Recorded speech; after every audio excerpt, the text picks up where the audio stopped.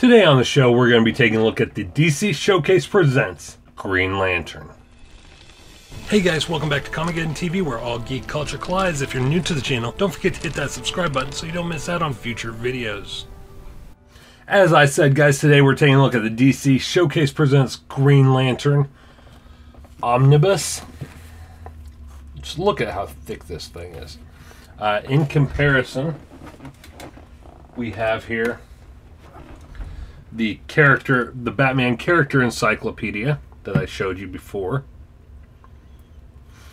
Uh, for comparison, we've also got Green Lantern Rebirth.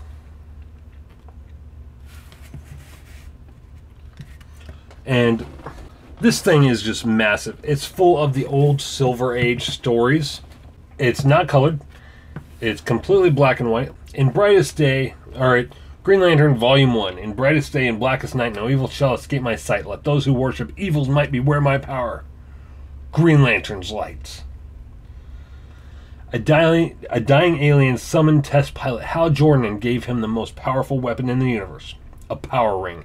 Jordan was inducted into the universe spanning Green Lantern Corps and assigned to protect a sector of space, including Earth.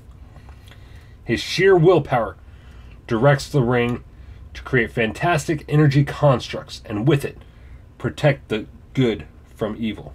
This collection includes the earliest Green Lantern stories from showcase number 22 through 24 and Green Lantern 1 through number 17.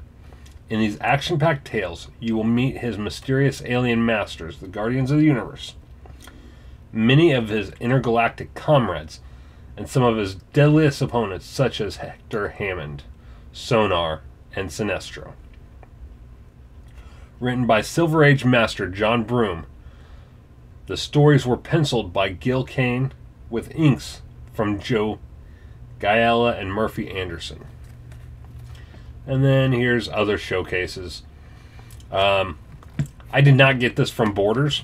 We have a store here in town called the Old Book Barn. Uh, basically, they sell used books. They have a lot of comics in there. Um, not in great condition, and um, they don't really know how to price comics. They price them for way more than they're actually worth. Um, but I was lucky. This was in really good condition. I, I paid I paid about twenty bucks for it. So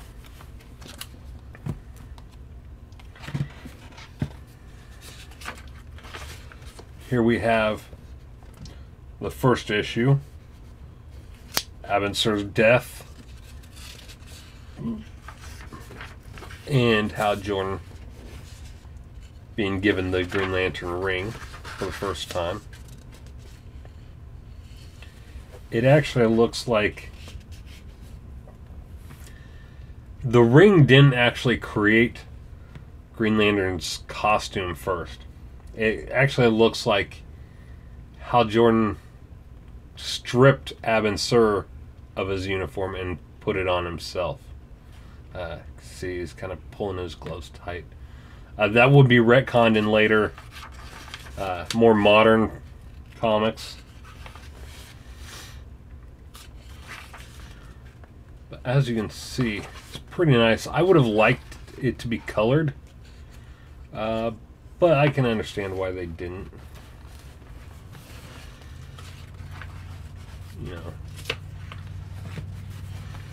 Menace of the Giant Puppet.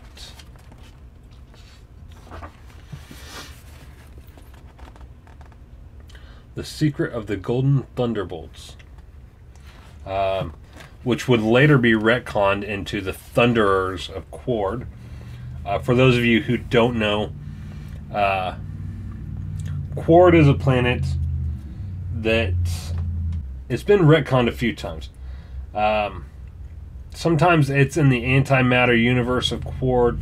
Other times it's a planet of Qward. Uh, but the Thunderers are a race from Qward, uh, part of I think two races. One is the Weaponers, which create weapons like the Sinestro ring, which is a yellow power ring. Uh, they even, I believe, uh, at one time created the anti Green Lantern rings. which are kind of a black and purple type power ring uh, used by mindless drones. And because it required willpower, the rings eventually destroyed the drones that wore them. And then there's the Thunderers of Qward, which are uh, a warrior uh, race. And they kind of enslaved the weaponers and so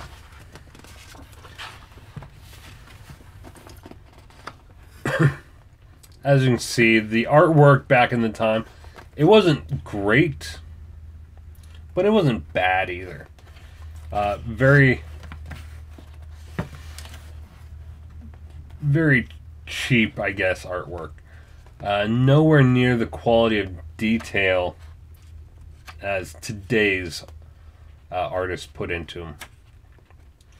But still, it's not bad at all.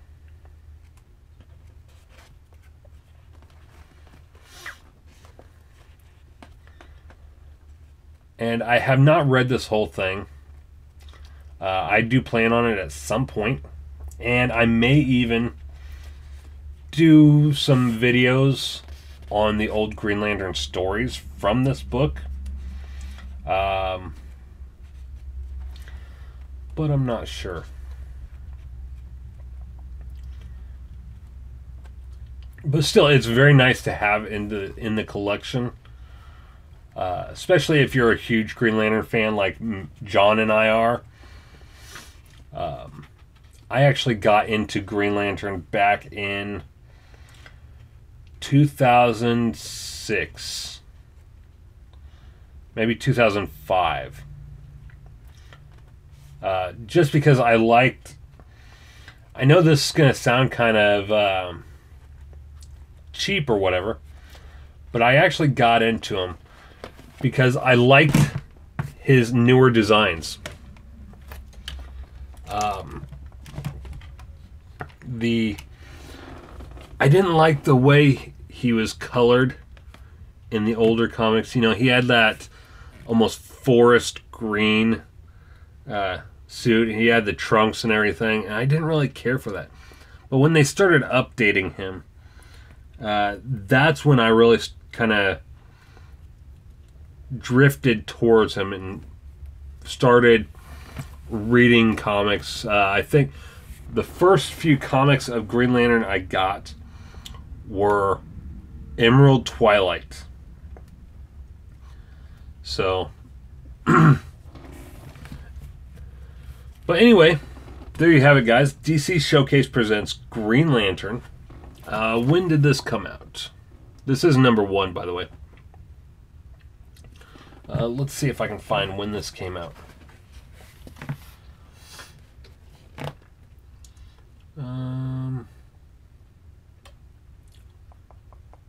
2010, it looks like, is the copyright. So it's eight years old, but not bad. I definitely recommend picking it up, especially if you're a Green Lantern fan. Uh, it's better to have this to read and collect the old stories and never open them than to collect the old stories, open them to read them, and risk damaging them.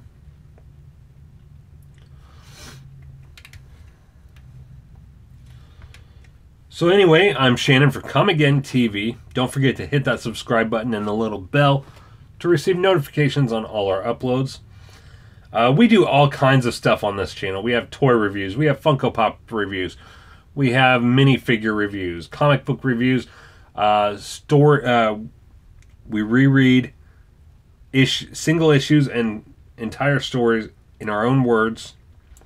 Uh, on here, similar to Comicstorian, but we do different comics than Comicstorian does. Um, so we're not ripping him off ent- entirely.